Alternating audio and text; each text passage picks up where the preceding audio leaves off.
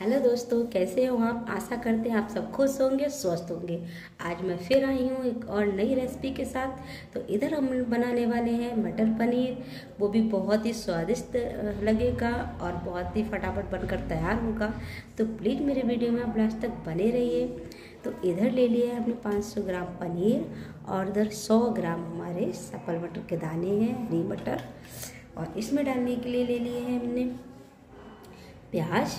चार टमाटर, कुछ लहसुन की कलियाँ हैं और इधर पाँच से छः हरी मिर्ची हैं। और इधर ले लिए हमने सूखे मसाले। इसमें सूखा धनिया है, खड़ा, एक बड़ी इलायची है, कुछ दाने, काली मिर्च के हैं, लौंग है, हरी इलायची है चार, तीन टुकड़े दालचीनी के हैं और जीरा है हमारा। इसको हम कर लेंगे रोस्ट। तो इधर हमारा तवा गरम हो गया, उसमें डाल देंगे हम खड़े मसाले। और इसको कर लेंगे हम रोस्ट। बस थोड़ी ही देर करना है जलाना नहीं है। इससे जे है सब्ज़ी का टेस्ट बहुत ही अच्छा आता है।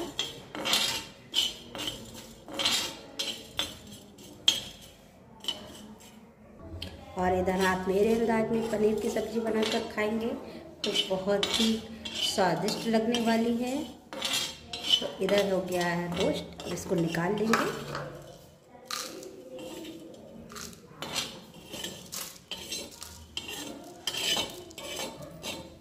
अब इसको हम मोटा मोटा पीस लेंगे। और इधर मैं प्याज को कर लूँगी कद्दूकस, जो फटाफट हो जाता है। आप देख सकते हैं इधर।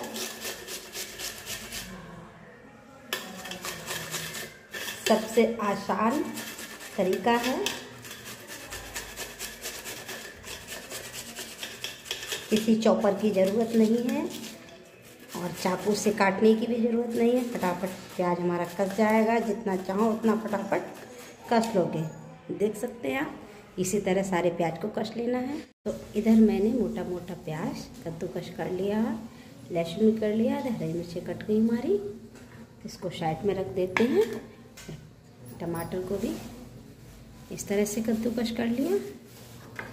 और इधर हमने साबुत खड़े मसाले जो रोस्ट किए थे, उसको पीस लिया हमने। तो इधर हमारा कढ़ाई में तेल हो गया गरम, उसमें डाल देंगे थोड़ा सा जीरा। और डाल देंगे प्याज को भी। इसको गोल्डन ब्राउन होने तक भून देंगे। हमने मसाला बारीक इस तरह से नहीं पीसा कि उसका टेस्ट इतना अच्छा नहीं आता। अगर इस तरह से करते हैं, मोटा मोटा थोड़ा सा प्याज तो उसका टेस्ट बहुत ही अच्छा आता है और कलर भी हमारी सब्ज़ी में भरपूर आता है।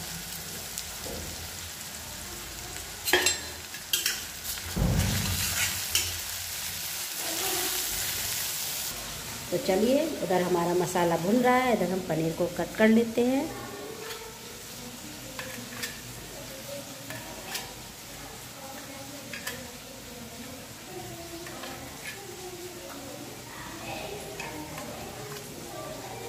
ये बड़े बड़े साइज़ के टुकड़े कर लेंगे।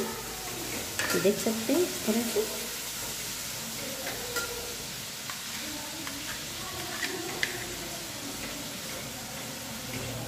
तो इधर मैंने पनीर को काट लिया है। तो इधर आप देख सकते हैं हमारा प्याज हल्का गोल्डन ब्राउन होने लगा है और इसको अभी और भूनना है। और इधर हमारा प्याज गोल्डन ब्राउन हो गया, अच्छे से भुन गया है। अब इसमें डाल देंगे हम टमाटर और हरी मिर्च को। इसको अच्छे से मिक्स कर देंगे।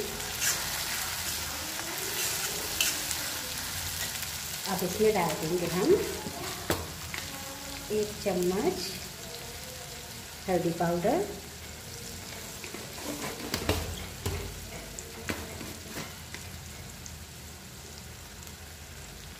एक चम्मच लाल मिर्च पाउडर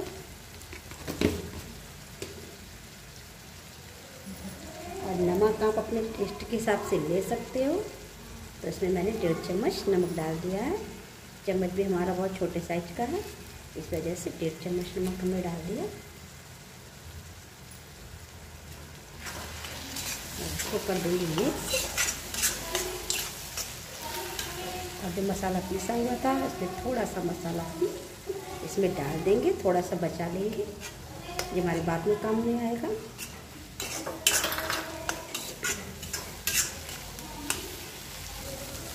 तो इधर हमारा मसाला हल्का भून गया है। अब इसमें डाल देंगे हम हरी मटर, जो भी अच्छे से थोड़ी सी और पक जाए। वैसे तो ये ही है ये। तो हम चला देंगे। और इसमें थोड़ा सा पानी डाल देंगे। देखिए मसाला हमारा और अच्छे से पक जाए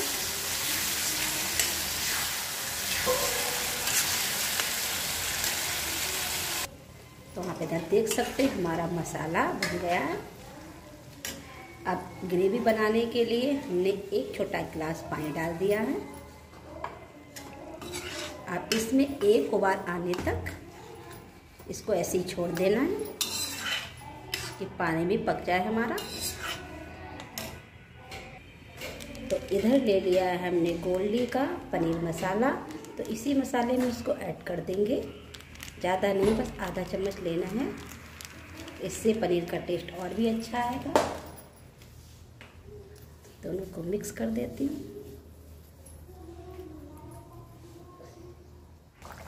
तो इधर आप देख सकते हैं ज़ोर ज़ोर से उबाल मारने लगा है।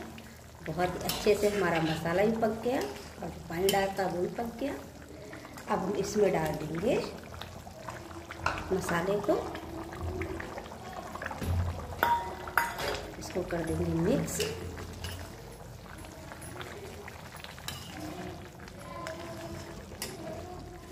और डाल देते हैं हम पनीर को।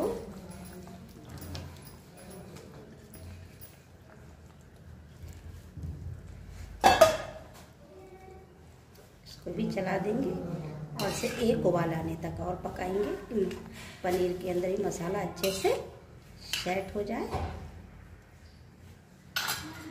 और इसमें डाल देंगे हम बारीक कटा हुआ हरा धनिया।